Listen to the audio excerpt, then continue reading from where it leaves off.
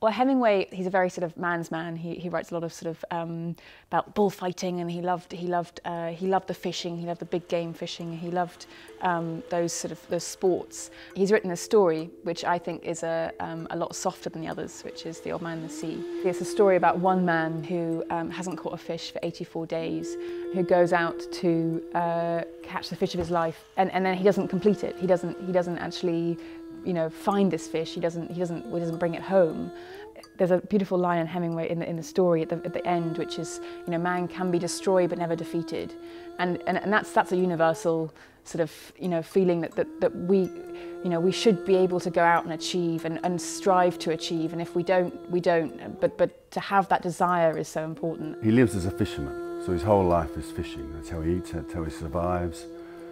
That's where he gets his self-respect, is his inner status from, if you like. It's his whole world. So his, his whole mission is to get out there and, on one level, prove himself as a man, on another level, to, um, to eat, to survive.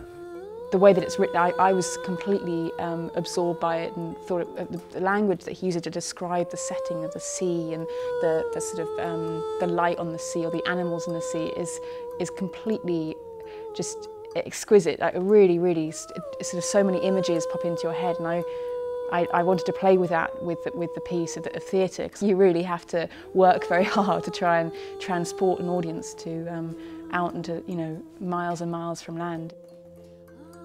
The sea has now got much more of a vocal role um, and a wonderfully um, complex relationship with the old man and a femme fatale, she's a sport little girl, she's you know, a huge number of things. So that's, and that's quite fun playing with that. And it's, it's no longer just one man out at sea, which is what it is in the book. The whole sea and it is like a playground for her and she's got these toys and she's got these weapons like sharks that she can just summon up at, at, you know at a second and the thing about her relationship with the old man is that actually there's a genuine relationship that goes back to when he was a little boy and it's almost like he's been her favourite for years it's a kind of love story in a way, isn't it? It's, it's love of the sea, love of nature, love of his ex-wife, uh, love of the boy.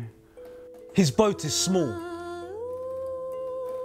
And he has sailed it every day of his life. And it has had so many repairs that every single piece has been replaced. I, I worked very closely with Ross Lorraine, who was our musical director. Because it's set out at sea, I, I didn't want to flood the stage because it's, you know, well, firstly, no one would let me. but secondly, I think it's, it's, uh, it's so much more exciting to try and transport people just using sound.